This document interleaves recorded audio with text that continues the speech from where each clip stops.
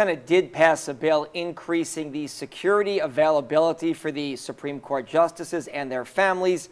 That now heads to the House of Representatives. Well, here at home, Governor John Bel Edwards is speaking out against a bill that would criminalize abortion. That bill, uh, written by State Representative Danny McCormick, is headed to the House floor for a full debate.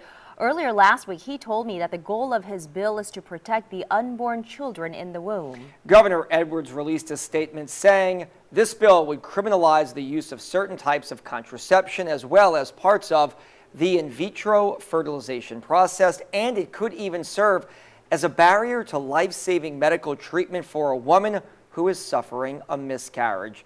To suggest that a woman would be jailed for an abortion is simply absurd. All right, turning now to weather at 403. It has been another